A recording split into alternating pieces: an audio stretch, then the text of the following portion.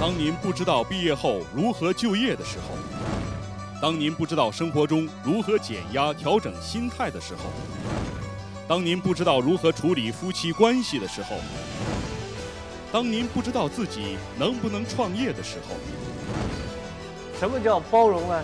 就是把所有的是非恩怨都搁你肚子里消化了。什么叫毅力呢？就是当别人认为痛苦的时候，看不见光明的时候，你看见了黑暗的尽头。如果我要解决我的情绪，有一件非常重要的事情就是认知，我得认知我的情绪。比方说，我现在特别害怕，那么我要承认我特别害怕。作为一个真正的领导者，他的目的不是要成就自己，他要成就他的伙伴。我们任何一个人，如果是觉得你很能干，你很聪明，你比周围所有的人都好，这个人一定是成功不了的。包括今天的八零优米网每天力邀成功人士，与您分享有关求学、就业、情感、创业、职场发展、心理健康。人生理想等多方面的成长心得，优米网特别制作问答节目《在路上》。詹文明，一九五一年生于中国台湾，后在美国加州克莱尔蒙特大学彼得德鲁克管理研究中心深造，师从现代管理之父彼得德鲁克，新获大师指导。从一九九二年起担任彼得德鲁克高阶管理课程教授，并成为亚洲地区总代理人。是资深的德鲁克管理研究实务专家及其管理哲学思想权威代言人。他著有《管理未来》《德鲁克教你当领导》《德鲁克黄金笔记》《德鲁克谈自我管理》《杜老师的一天》等管理学著作。本期节目，张文明与您共同探讨：女人嫁个好人还是好人家？我爱的男朋友父母不喜欢怎么办？女孩子喜欢这个男孩子，可是问题是他父母并不乐意。从这个角度来看，我们就发现到父母所期待的，跟自己的女儿所期待其实完全是两回事。唯一的建议就是说，你是到底是在找永久可以一起的伴侣呢，还是真正的去找一个只不过是爸爸妈妈点头就可以解决的？其实这个部分呢，永远是一个问题。但是我会比较倾向，假设他去找他喜欢的，呃，纵然我看了不喜欢，我也会答应他，因为我认为这是他们两个人事，跟我来讲，其实没有多大的关系。我唯一能够担忧的是什么？就是怎么样能够从旁协助他。万一假设有一天我无法协助他，啊，我也只好祝福他，啊，不管他走到哪里，我认为那是必须要他自己负责的。因为他有足够的判断力，选择他所爱的，爱他所选择的，最终呢，也要必须要由他自己去承担最后的结果，而不是父母。但是反过来讲，假设依我的意思，而到最后结婚了，万一不幸了，最后我要承担重责大任。呃，假设他喜欢的，我纵然看不下去，或者是我不答应，我都会默认，因为我认为到最后还是要祝福他，至少。我不可能跟他那么久了，但是我不能让自己的小孩最后因为我的关系而放弃一个可能的好的或对的人，而也不要因为我可能错失了一个可以变成一个美满家庭的机会，我大概不会阻碍他的幸福，除非他愿意来问我说：“爸，你觉得怎么样呢？”那我会很老实的、很真实的告诉他，但是。我不会给他任何意见。有钱有势是否是婚姻的保障？婚姻这个东西，假设是用钱可以累积、可以解决的话，那世界上大概没什么问题。但是问题来了，就是说有钱不一定可以买到真正的爱情，或者是真正的婚姻。其实关键在于，怎么样能够彼此相爱，不仅仅是只有一见钟情就解决了。其实所有的婚姻都是在。结了婚以后，才慢慢的去经营跟累积，所以不太容易说，呃，你决定了就代表一切都 OK 了。所以看来也没有想象中那么简单。有钱人家，有地位人家，其实你要当人家的媳妇，也真的是不容易。那么另外一个部分呢，就是假设嫁给一个穷人家，但是他肯上进，是一点都没有问题。现在要养活一个家庭，其实并不那么困难。啊，但是呢，问题就是我们把它想象的太难了。我记得我在年轻的时候啊，有一个年纪大的老头跟我讲，等到你呀有经济基础的时候呢，你的女朋友已经不是你的老婆了。咦，我说对哦，然后就问他，那我怎么办？他说很简单嘛，结了婚以后再办呐。结了婚以后，你就自然就会越来越好嘛，所以你根本不用担忧。意思就是说，你担心的其实不会发生，但是你没有担心的才会发生。意思就是说。你嫁一个有钱人人家，到最后呢，可能你觉得说我什么都好了，可是到最后呢，养小老婆你也不晓得，或者是你知道了你也没办法。可是那个是你要的吗？假设你要的，那没话讲。有些女孩她为了想要有钱，虚荣心很大，甚至于她想要买 LV，她认为这样过的日子会更好。事实上是不是这样？比如说，先生很久很久才回来。然后很久很久才看到，最后呢看到的都是照片，而不是他生人，那又何必呢？呃，关键可能不在钱了，不是解决婚姻或爱情的问题。假设能够解决，其实那是最好。当然，我也不是代表说有钱有地位的人就没有好男人，倒不是。基本上就是说，只要是对的人，不管他有没有钱，其实我认为才是关键。那您觉得什么是？婚姻的保障呢？婚姻的保障是彼此共同努力，没有一方单方面可以保障对方。比如说，很多男人结了婚以后说：“哎，我养你一辈子没问题。”你不要太相信他。您说过这种话吗？啊？您说过这种话吗？我从来没说过，因为我养不起。能够养得起的，就是三餐没有问题的。所以我大概在二十八岁的时候，我结婚。然后一直到三十岁，我才买房子，但是那个买房子还是贷款的，因为有这样的经历啊，所以特别温暖，也特别的幸福。我常常在想说，假设我本来就有钱，我看起来我不知道那个幸福的滋味是什么，我也不晓得怎么定义我自己的幸福。但是因为经过那个没有钱的阶段，穷人家的阶段，所以我发现到那才是真的幸福。所以幸福是应该是自己开创，而不是等待的，也不是上面给我们的，其实是靠着自己的手，一点一滴的累积，把它创造出来。我认为那个特别珍贵，也特别的香甜。具备怎样条件的男人才算是好男人？定义好男人或不是好男人，从表象去定义的话，很容易把一个人就是过度的极限。或者是会过早的判断，因为人都会改变的，所以不应该以现在的他的某种条件的不好或好，然后来断定他未来如何。不是念了哈佛或者北京大学，就代表他这个是一个好人。当然也不代表说他没有进入大学，然后他就是一个坏人。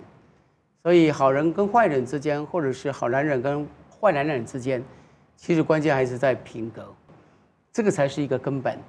但是这个东西其实是从小养成的。那至于说好人家是不是有钱有地位，其实我不认为。我认为这个家庭和谐，彼此之间非常有感情融入，然后他们的家庭文化充满了一种彼此的尊敬尊重。我认为这个就已经很了不起了。其他的有钱没钱，或者有地位没地位，有权势，我认为那个都是过眼的云烟，很快就没有了。你很难看到说三代五代通通都非常好的男，好男人。我的定义其实是非常简单，就是有责任感的男人。只要有责任感，其实其他都可以解决。最害怕是他没有责任感。其实这个不负责任，我认为比较麻烦。那只要他负责任，其实我认为都不是问题。优米网每天力邀成功人士，与您分享有关求学。就业、情感、创业、职场发展、心理健康、人生理想等多方面的成长心得。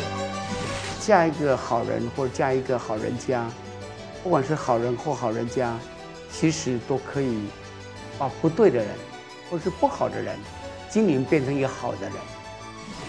优密网特别制作问答节目《在路上》，如何看待裸婚现象？基本上现在大部分都是双薪家庭，女孩子其实赚钱往往比男孩子更厉害，所以严格讲起来，其实是很多的男人很想说娶到一个有钱的女孩，然后少奋斗十年。现在很多的男孩子都是这样的梦想，娶到一个老婆很会赚钱，而且赚的钱比我多，这个已经越来越多，而且我们发现到，虽然女孩子的能力呀。越来越比男孩子要强要好，不仅仅是在台湾，在日本，在美国都是如此哦，是目前的现况。其实我觉得男生啊，他们更想是靠奋斗去拼搏出一片这种天地，甚至裸婚就没有钻戒，没有婚礼，没有蜜月，两个人就是去领个证就可以结婚了，很棒，很棒，是吧？对，非常好。谁能接受裸婚？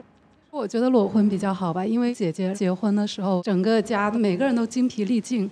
就裸婚的话，我们可以把那些钱攒起来旅行啊。有道理，我赞同，因为我就是裸婚了。您就是裸婚。因为很讨很讨厌那种办酒席，人这么多，然后要请谁，然后人家包红包还要麻烦，风俗啊，还要习惯啊，还有很多的问题。那一天到晚就搞这个就好了，到底谁要结婚呢？搞不清楚了。那您结婚的时候，太太没有要求吗？呃，没有，没有。哎，她觉得非常简单就好。也没有去度蜜月。没有，没有，因为没钱可以度蜜月。有个叫迪诺的朋友说，裸婚都是被动的。既然有那个环境可以被迫，其实也蛮好的。不过结婚有人看得很重，但隆重不一定席开五百桌，请到所有人、名人什么都到，讲几句废话，双方的家长还要在那边，意义不大。所以结婚其实越简单越好，可以把钱省下来，然后去旅游，也可以把很多的那个时间省下来，因为你准备一个月，可能有的还不止呢。弄完以后呢，整个人就昏了。如何满意的把自己嫁出去？最好的方法是嫁给有钱人，是白天，然后晚上 跟心爱的人在一起，那是最美好的。但是市场很难啊，不太容易哈。啊，有钱的话他可以花嘛。啊，晚上有心爱的人那多美。感情是不是可以慢慢培养？肯定是。有人是结了婚以后才开始谈恋爱的，有人是谈了恋爱以后结婚以后呢不再谈恋爱了，没感觉了。所以真正讲起来，其实应该是说，怎么样能够找到一位彼此相爱，但是万一假设没有。对方爱你，因为被爱是幸福的。最害怕是你爱人家，人家不爱你，那也是很痛苦的。假设对方能够爱你的话，我认为是最棒的。所以我对两个女儿，我不期待我帮他们去找得到一个好丈夫，我会选择她会是谁的好太太。意思就是说，假设她是一个非常钟爱对方的。他愿意牺牲，愿意奉献，不计任何代价，而且能够帮助他，我认为他就变成一个好太太，这才是真正的幸福。我常常跟我两个女儿说：“你爱人家，你要问他爱你吗？假设他不爱你，你一天到晚爱他，没有用的，不会持久的。”他说：“我可以慢慢培养，是可以培养，但是别忘了。”男孩子是喜新厌旧的，包括我在内。但是，假设男孩子爱她，我认为这个是一个幸福必备的条件。假如不是因为你看上人家的有钱，然后你说我感情慢慢可以培养，当然，但是问题是你爱他，还是他爱你，还是两个都不爱？那这个是很麻烦的。所以，爱跟不爱之间呢，其实是一个很无法解答的答案，因为爱这个东西。说实在，没有办法描述，也无法具象，所以爱情的故事为什么那么浪漫，就是这个道理。假设自己够清楚自己的条件、自己的一些优点强项，然后你去找一个可以跟你互补的，而不是两个人都很强，都很厉害。那么，比如说一个清华嫁给一个北大，肯定每天都在吵架，经常发生内乱、战争。关键还是在。怎么样认清自己的角色，或者是了解自己多一点，然后给自己稍微不要太高的期待，因为往往我们都过度的期待自己能够嫁给一个白马王子，然后他又有钱、有能力、有条件、有什么所有通通都有，这样的人其实已经不适合结婚了，因为条件太好了。相信他一个老婆一定太少，你也不要梦想回到现实。女孩子嫁人要有什么样的观念？嫁一个好人或者嫁一个好人家，不管是好人或好人家，其实都可以把不对的人或是不好的人经营变成一个好的人，也可以把不好的人家可以经营或管理，然后变成一个更好的人家。其实这些东西都是被可以被创造的，而不是先天我们就被定型在那里。所以因此，我觉得人本身应该有创造力，人本身应该有改变的能力，而改变自己不是要改变别人，真正的去尊重别人，应该更清楚的认定自己可以做得更好，可以过得更好，而不是要找了一个好人、好的人家。作为归宿的条件，其实关键还是要看自己，唯有自己才能够战胜自己，其他人只不过是能够帮助你。一个漂亮的女人永远是幸福的，但是呢，一个认真的女人，真正有爱的人，不管爱人家或者被爱，其实我认为都是幸福的。所以，幸不幸福，决定权不在别人，而在自己。好，谢谢张老师。谢谢。